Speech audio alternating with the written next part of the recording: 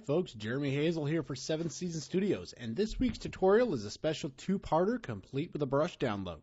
So, in part one, which should be over to the right-hand side on YouTube, we prepared the photo of the African elephant for texturing for this brush. So, if you're interested in that and you haven't seen part one, go ahead and check out part one.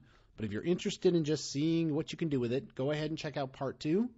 This is where we take that texture and apply it into a brush. So in order to do this, let's go ahead and let's create a new file. Now I'm just going to go 2048 by 2048, doesn't matter. Let's go ahead and make it gray. All right, so we're going to create a gray rectangle, just like that.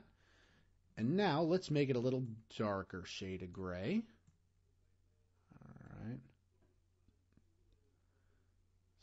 Go ahead and do that part.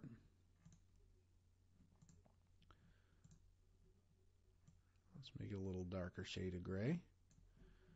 All right, now we're going to go ahead and swap over to the pixel persona. This is worth noting. These sorts of textural brushes only work in the pixel persona. So I've created a category called animal texture, and if you're not sure how to create a new category, you come up here, create new category, rocket science. Now, inside of this category, we're going to put in the new intensity brush. And in your downloads, there are two textural files. One is texture file, and then I inverted it. So if you're again interested in figuring out how to do this, check out the video that's linked below. This is part one of this week's. All right, go ahead and let's hit open. And let's start with this texture file. All right, now that doesn't look anything like what we were looking at, right? So this is how we're going to prep our brush. We're going to increase the size a little bit, and we're going to crank up that spacing because we want it to be almost a stamped brush. I'm going to crank down the hardness because I want a real soft side. And I'm going to crank down the flow because I don't want it to be 100% all or nothing. I'm going to keep it at about 80%. All right, now let's take a look at the texture. There's our brush nozzle. And remember, texture brushes work in black and white. So white reveals, black conceals. So we go to here and we close. Now, let's give it a shot. We come over to our brush.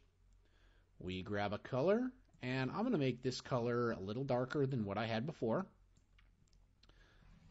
I'm going to go over here, and I'm going to zoom it up a little bit, and I'm going to put a new layer on top of it.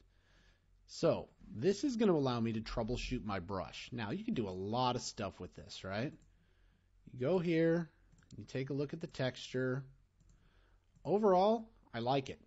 I think I'm in pretty good shape with it. All right. So to begin with, that's a very acceptable brush in order to get the texture I'm looking for. But you see all the gray. What I really want to do is invert it. So I want to have brush textures to do both.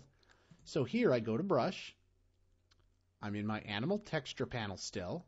I'm going to create a new intensity brush, and this time I'm going to use the inverted texture.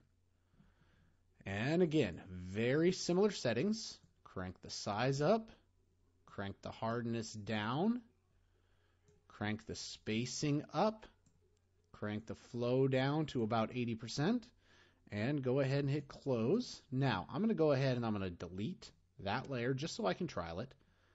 I'm going to create a new layer. And now I'm going to crank up my brush size. And to see what I get here. Oh, look at that. Oh, that that's good looking right there.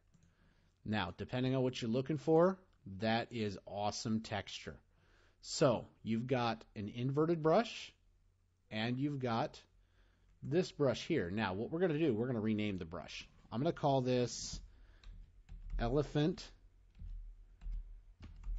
one.